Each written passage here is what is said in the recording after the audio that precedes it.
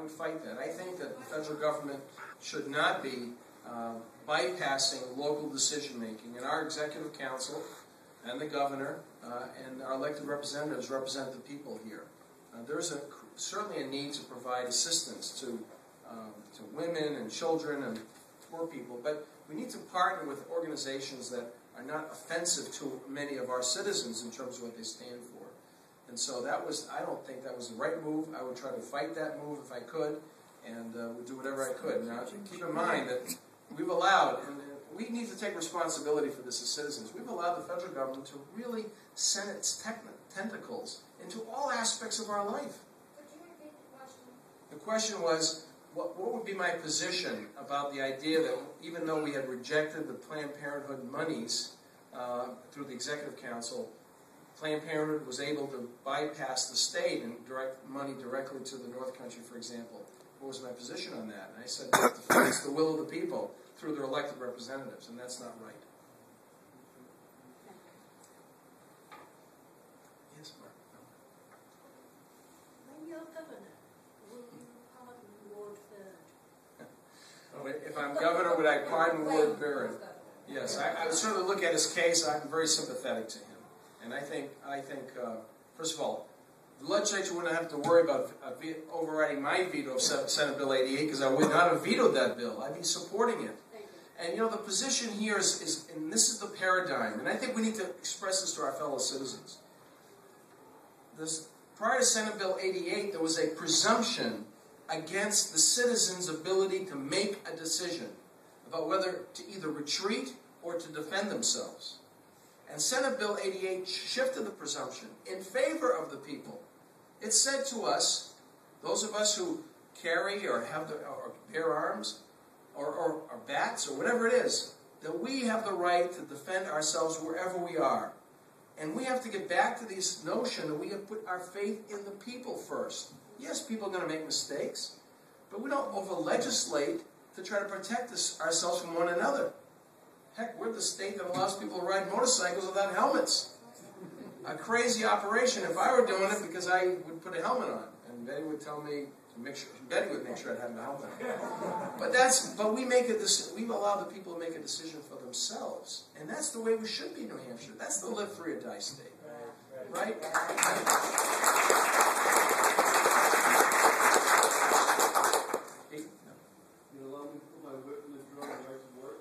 Sure. Well, thank you for asking the question. Yeah, that's right. Uh, you know, I have to, let me just tell you, to give you this perspective of mine. I hope right to work, I hope that veto is not overridden. Because I think that's a cutting wedge issue that works for us as Republicans, by and large, and conservatives. Now, ideally, I would, well, certainly if I were the governor, I would have signed right to work. I believe in freedom of choice. Once again, someone called me yesterday, just as an example, and she said, please use the story on the, on the stump if you'd like.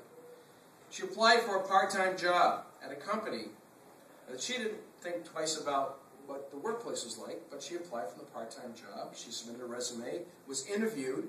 The people there loved her. So she was signing the application to become an employee, part-time employee. And the, the woman in HR said, oh, you have to become a member of the union, you know. She said, what? I have to become a member of the union? I'm working part-time. And the HR director said, well, of course, you've got to be part of the union. We're a union shop here.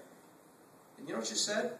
Thank you very much. That's against my conscience to become a member of the union. I want to go somewhere else. That is as poignant a story as ever there would be one. And people have the right to organize and form a union, but they don't have a right to deny you and me the individual decision to become members of the union. And we have to accept the consequences if we're not.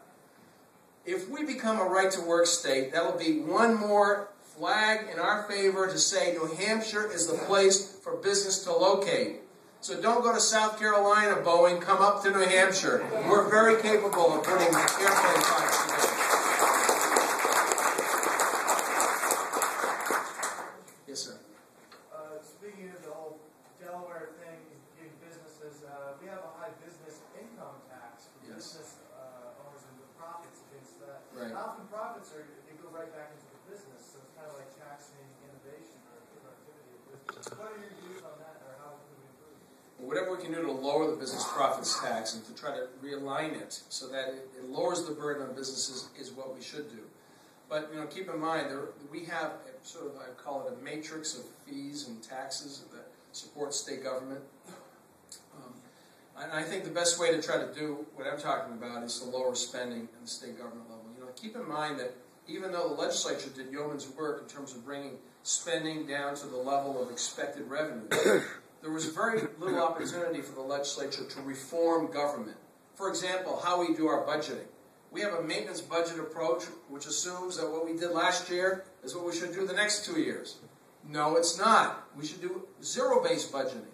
We should start from scratch in terms of demanding from commissioners of departments and program areas to justify why they need dollar one again. Just because we did it this way two years ago or 20 years ago doesn't mean we should be doing it that way today. We should be looking at outsourcing and lowering the cost of the delivery of services in New Hampshire. And that's going to result in a lowering of the business profits tax. And also making adjustments to the business enterprise tax, which you know, works in parallel with that business profits tax structure. And we, we're, we're kidding ourselves if we think we are a business friendly state when it comes to taxation and regulation. And regulation is out of control. Uh, let's start by putting a moratorium, flat moratorium on any new regs. Let's look at what regs exist. Some of them are already sunsetted. And if they're sunsetted, then we should take them off the books, force the agencies to come back and come back to us with new regulations that are consistent with the law. The legislature should play a bigger role in the life of legislation, executive branch a smaller role when it comes to regulation. We've allowed the executive branch of government to create a fourth branch, which is the regulatory structure. And we need to change that in New Hampshire as we do at the federal level. Do you think there's a little bit of work we need to do in New Hampshire? There's a lot of work, but we can do it, and we're going to do it. Okay, one more question. Thanks, Doc.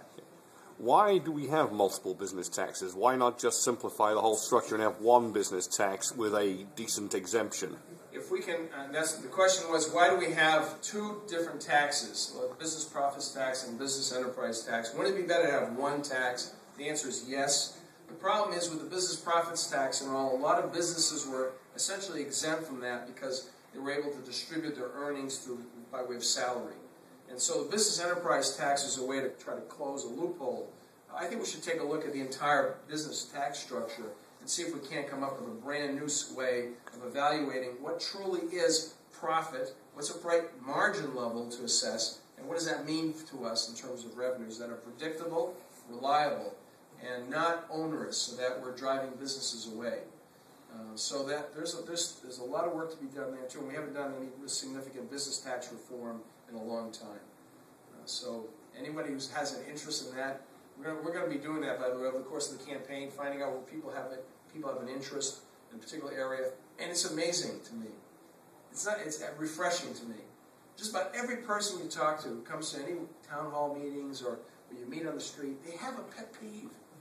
They've experienced something. And that means they have some experience and passion. And that's what it takes to fix a problem.